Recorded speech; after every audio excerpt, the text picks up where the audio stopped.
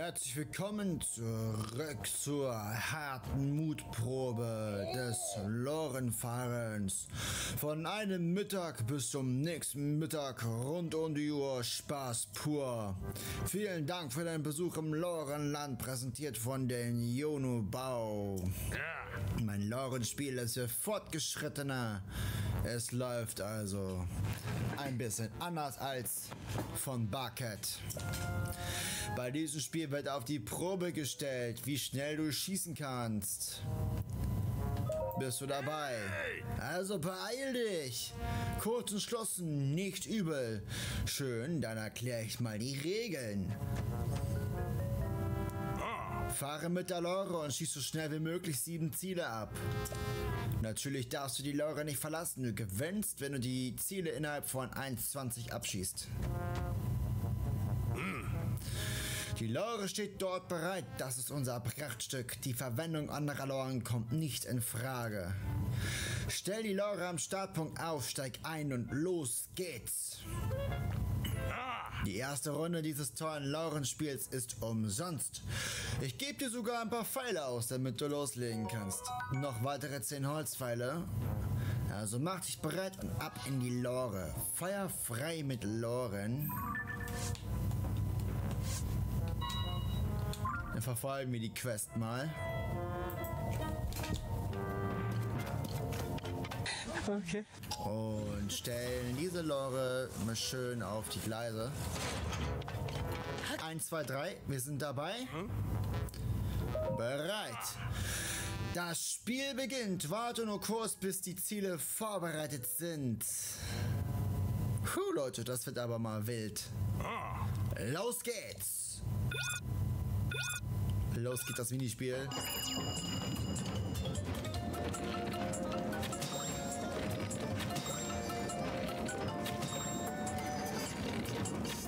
Cringe. Big Foul! Meine Güte, ey. So. Gay! LOL. Bruh. Wieso ist mein Bogen zerbrochen?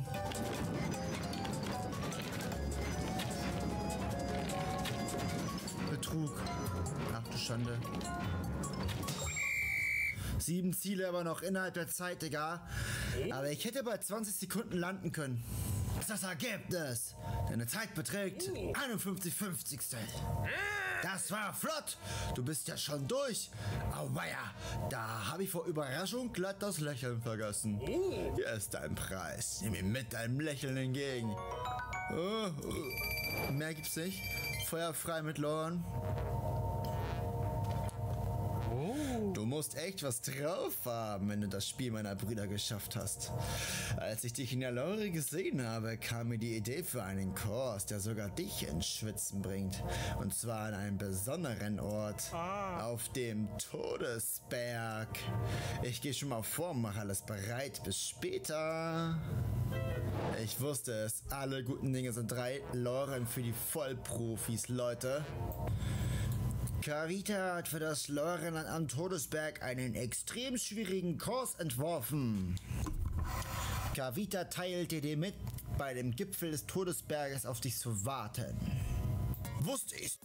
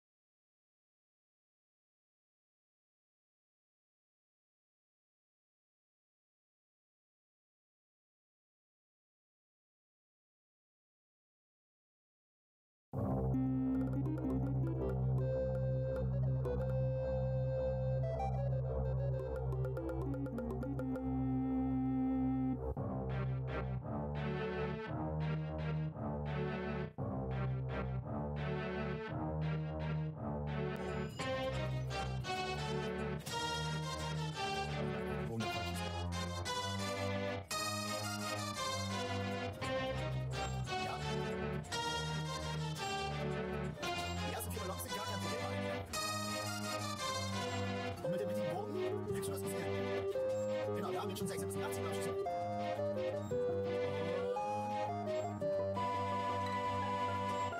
Wir müssen das Ziel erreichen.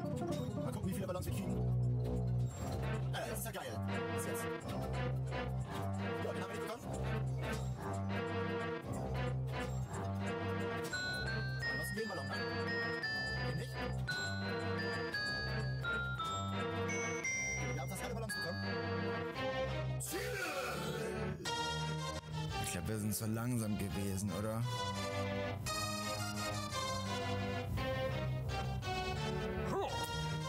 Achtung, hier kommt das Ergebnis. Mal sehen, wie viele Ziele du erwischt hast. 17. Hätte ja nie im Leben gedacht, dass du das hinkriegst. Du bist echt für die Loren geboren. Hier dein Preis. Goronenstoff! Robuster Stoff im Goronenstil. Es scheint gut zur Anfertigung eines Parasegels geeignet zu sein. Wir müssen also bald mal Hateno aufsuchen. Na, gefällt's dem Herrn? Damit sollst du runter nach Südosten zur Färberei in Hateno. Dort zaubert man dir daraus sicher noch was Tolleres. Ja. Leurenland wartet jederzeit ungeduldig auf deine Rückkehr. Wir sind dir auch nicht böse, wenn du wieder all unsere Rekorde brichst. Versprochen. Ich mache mit euch jetzt noch verborgene Felsschmelzquelle. Marsaki. Marsaki sucht nach einer versteckten Thermalquelle. Der Felsschmelzquelle. Es ist bis nach Koronia gereist, um sich an den anderen Thermalquellen umzuhören, um dort vielleicht etwas über die Lage der Felsschmelzquelle zu erfahren. Zu diesem Zweck möchte er zunächst die Goronquelle aufsuchen. Als allererstes Mal sehe ich dort hinten einen Krog. Dafür müssen wir einfach erst ein Feuer machen. Hm.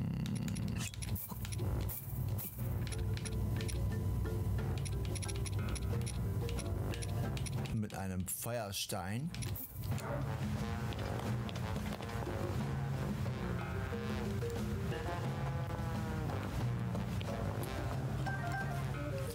Ja. Wir brauchen dafür noch. Und das brauchen wir ein geeignetes Schwert.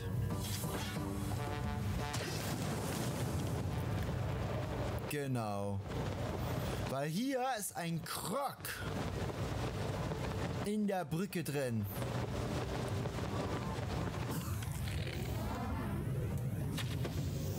Sehr geil, Leute.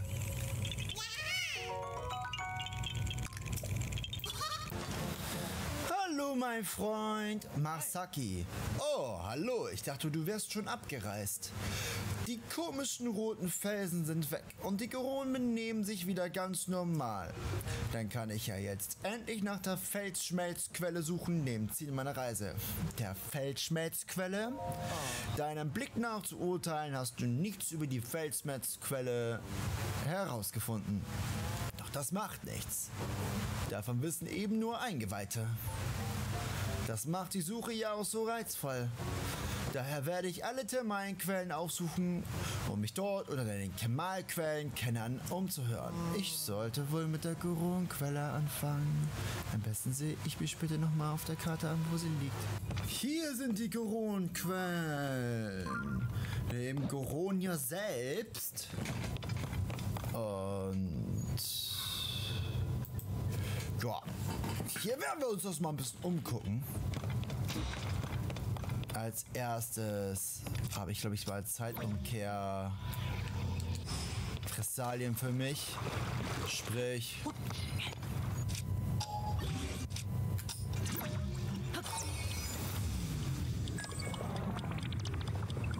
Wo fährt der mich jetzt hin? Was ist das für eine Himmelsinsel? Schlucht von El den Himmel. Okay. Okay. Scheint wohl eine kleinere Himmelsinsel zu sein. Gut zu untersuchen. Ah, ein Konstrukt. Die Funkelfrucht wieder. Verschiedenfarbige. Er sucht mich da hinten, der Dummkopf.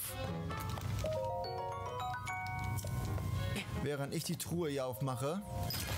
Ein Wille der Weise? Ein Wille der Weise auf Ansage, Digga! Ja, Mann! Was sehen meine Augen denn an genau dieser Stelle hier bei der Goronquelle? Einen zufälligen Krog. Da müssen wir einfach nur so einen Cube einfügen.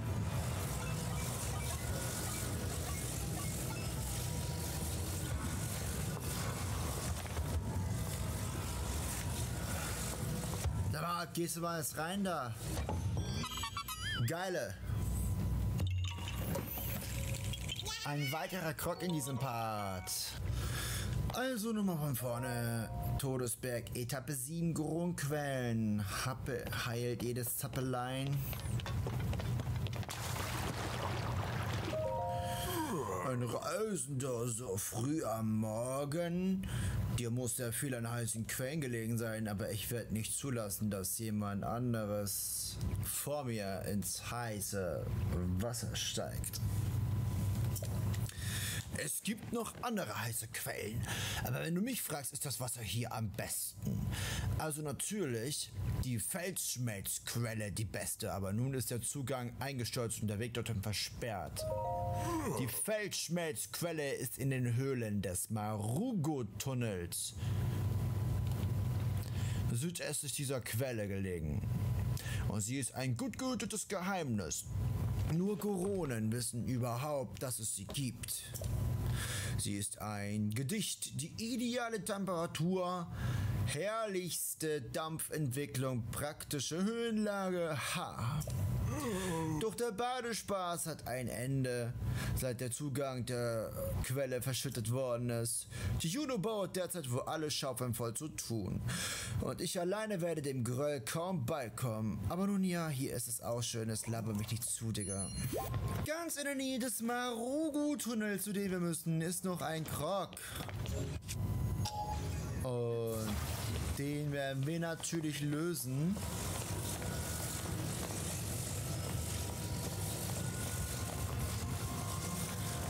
Hier oben ist so ein Baumstumpf.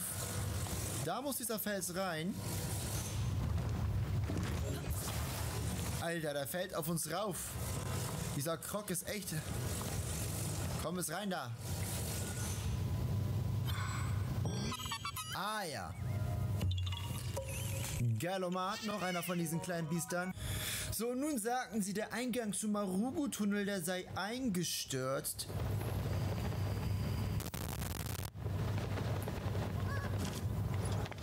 Bro!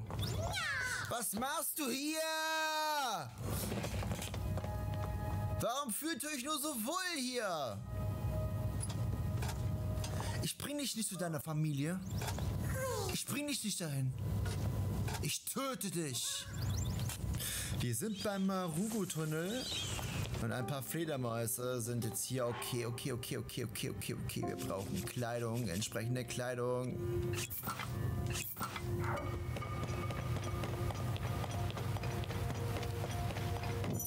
Hörst du doch mal auf zu brennen? Ja.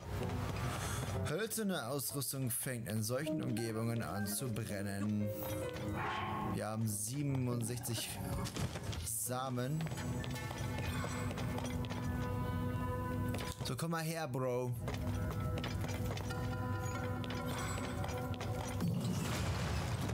Weg ist frei. So können wir jetzt immer unseren Weg frei kämpfen. Ah, jetzt ist der Weg frei. Nice. Da gibt es jetzt mehrere Wege. Ähm, Felsenkletterer. Ja, und warum lädt er sich so langsam auf, dieser Knecht? Äh, dich auf.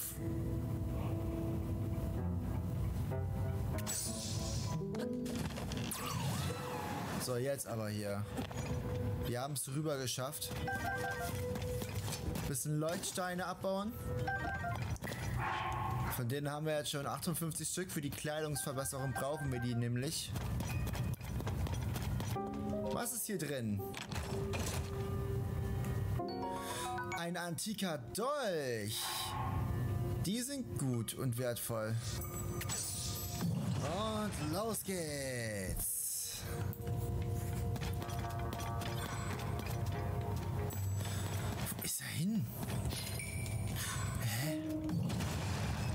Lol. Auf jeden Fall ist der Weg jetzt frei. Mir nehmen das Gestein mit, was hier frei geworden ist. Und hier ist die Quelle. Oh, unglaublich!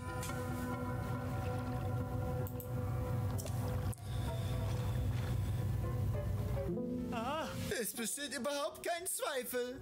Das hier ist die Feldschmelzquelle. Ich hätte gehört, dass der Zugang eingeschützt ist und niemand mehr hineingelangt. Sieht geil aus, Alter. Ah, tut mir leid, ich wollte dich nicht erschrecken. Hast du das hier freigeräumt? Ich habe ein lautes Geräusch gehört und bin neugierig geworden. Dank dir ist mein Traum in Erfüllung gegangen. Tut mir leid, dass ich dir die ganze harte Arbeit überlassen habe. Doch es gibt da etwas, das ich dir unbedingt tun wollte. Wenn du mich für einen Moment entschuldigen würdest. ah, Die Temperatur ist perfekt. Und was macht er da bitte? Oh, köstlich. Was tut er da? ah, Ja, so hatte ich mir das perfekte Thermalquellenei vorgestellt. Oh, hatte ich fast vergessen, das zu erwähnen? Der Grund, aus dem ich nach dieser Quelle gesucht habe, war, dass ich ein Ei in meiner Thermalquelle kochen wollte. Und wenn du nicht den Weg freigemacht hättest, hätte ich sie niemals gefunden. Dafür möchte ich mich erkenntlich zeigen. 100 Rubine, also es lohnt sich für die, die pleite sind. Wir haben ja einen Glitch gemacht.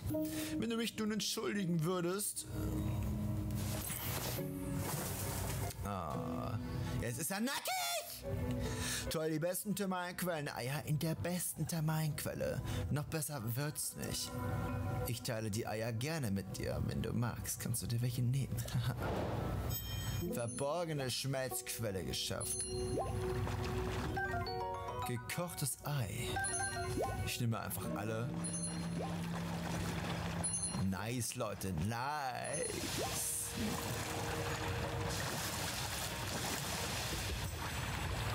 So, und hier geht's weiter. Hier ist der kleine Goblin da oben.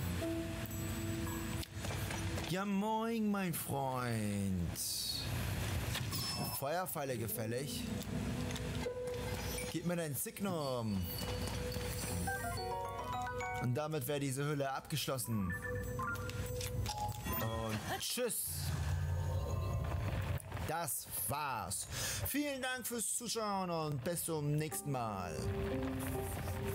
Bei Zelda Tears of the Kingdom.